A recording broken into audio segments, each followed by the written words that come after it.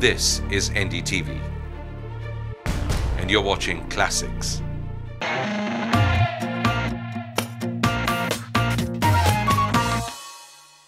Hello and welcome to NDTV Profit. Today I have a special guest, the global CEO of a company that needs no introduction. It's the biggest name when it comes to sports bikes and one of the style icons in biking world.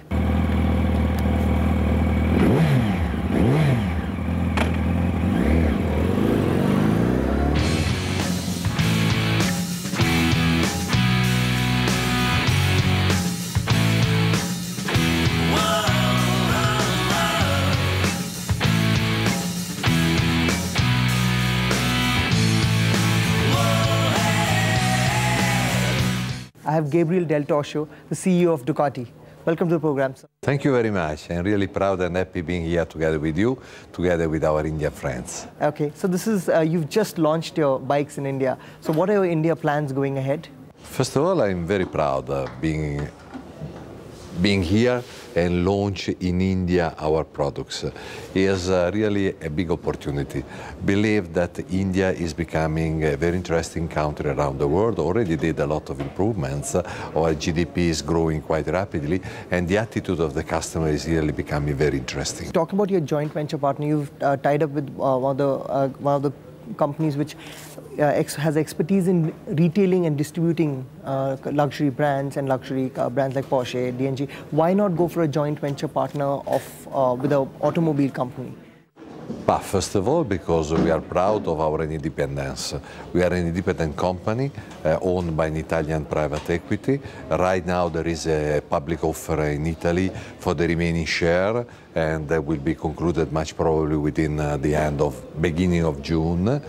And then, because we believe for product like our product, that are special products, because you know our products are suitable for customers that are interested in quality, that are interested in superior performances, they are interested uh, in style products in the appearance, in the, in the style of the product, in the Italian style of the product.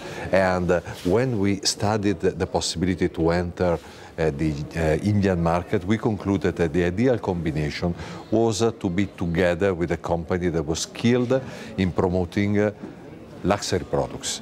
They are promoting very well luxury cars, they are promoting very well luxury Italian goods.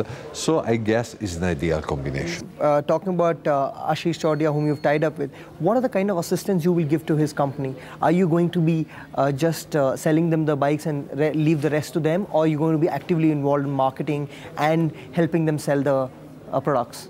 This is, was never our philosophy. We never leave alone uh, our distributor. Uh, in this case, especially in this case, we understand that uh, the uh, Indian market is a challenge for him, is a challenge for us. We side by side to him, we really want to show commitment to this market. Going step by step, because objective for this year is relatively small. Our plan is to sell no more than 50 units by the by the end of uh, 2008 in India.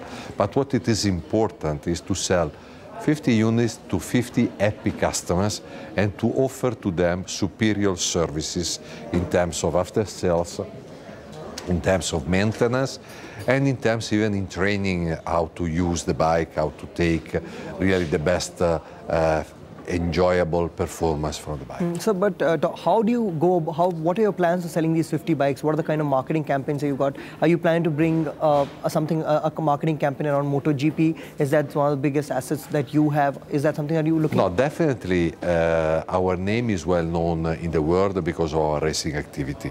You mentioned MotoGP. I take the opportunity to repeat once again that last year we were so happy because we won the MotoGP World Championship after 34 year, 34 year of Japanese dominance, so good results. In addition to that, there is a Superbike World Championship.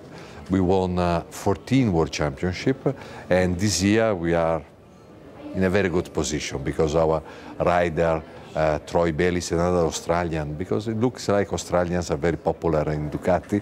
Uh, we have the Australian rider Casey Stoner in MotoGP and uh, Troy Bayliss uh, in uh, Superbike. Is doing very well. He won uh, four races out of six. So.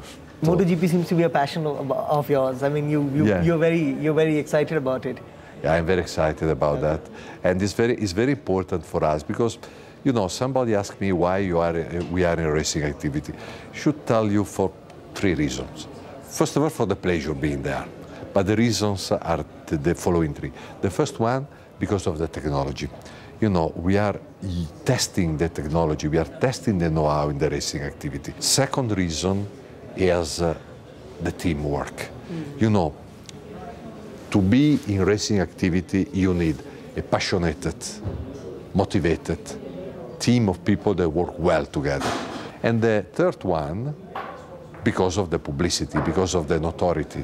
Uh, we are in the race, our name is well known around the world. I cannot imagine how much I have to spend in advertising campaign or in publicity to have such kind of echo of, uh, of reputation uh, of our of our name. One of that bike uh, to Brad Pitt. Okay. so but this is just one, just so an example. Moving, moving, from MotoGP to something more uh, more uh, dull about pricing. Now as you talked about how Ducati is a premium brand and it is it's a very cool brand as you would want to call it. Uh, is that one of the reasons why you priced your bike at such a premium? And is there a chance that the Indian consumers can ever see the prices falling and becoming more affordable? Being a cool company is not a reason to price aggressively. We price aggressively because our bikes has a value because it costs more than the other bikes, because the solution that we bring in the bike are more expensive than the other. It's the same comparison between a Japanese supercar or an Italian supercar. It's going without saying the Italian supercar costs more, but it's a different animal, it's a different product. That's, it's not because we are a cool company, because we win in the MotoGP that we price uh, at high, high level, uh, we put at a high price our product. So, but do you, see, do you see, do you see prices coming down uh, in I don't know. For sure, for super bikes it will be almost impossible because we want uh, we are investing to maintain innovation and to maintain superior performances. Okay. So uh, Yamaha and Suzuki have not uh, entered the super bike segment in India in a big way and they haven't made the splash that you've made. What is the reason why you see why you why you see a market and they don't and why your competition is still not be, being bullish about it? I'm not familiar with their strategy so I cannot comment at why they are not entered or why they entered in different way. I can only comment that why we took a decision, because we took this decision because we believe that the, the Indian market will be mature in three, four years' time from now. It's not yet mature, but we have the seeds. The seeds is here, the market is ready, because the level of money in the country, because of the evolution of your GDP, because of the fact that there are more and more Indians traveling around the world and coming back with different experience, because it's a society that is going the direction of even the pleasure of the life.